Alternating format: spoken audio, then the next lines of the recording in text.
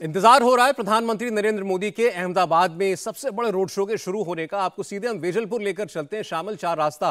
ये वो जगह है जहाँ पर इस वक्त राजेश कुमार हमारे सहयोगी खड़े हुए हैं और वो आपको बताएँगे कि वहाँ क्या तैयारियाँ की गई हैं, क्या भीड़ है, लोग जो आ रहे हैं, क्या कह रहे हैं। राजेश। देखिए पाँच बज के चालीस मिनट का वक्त है सौरभ जब प्रधानमंत्री यहाँ पर पहुँचेंगे, लेकिन उसके पहले ही आपको दिखा दूँ कि बैनर, पोस्टर लेके लोग यहाँ पर पहुँचे हैं प्रधानमंत्री के लिए, जो यहाँ पर खास करके अहमदाबाद में जो प्यार है और जो लोगों में उत्साह रहता है, वो आपको यहीं पर देखने को मिल रहा है। और नेता जो हैं और कार्यकर्ता दूसरे जगहों से भी यहाँ पे पहुँचे हुए हैं। मिहिर कोटेचा जो मुंबई से यहाँ पर आए हुए हैं, आप यहाँ पर आ रहे हैं, इलेक्शन के सिलसिले में आए कि आज प्रधानमंत्री का रोड शो है, उस वजह से नहीं नहीं, इलेक्शन के सिलसिले में आए हैं। पिछले पंद्रह दिनों से हम गुजरात में ही हैं और समग्र गुजरात में चारों ओर बहुत ही जोरदार वातावरण है।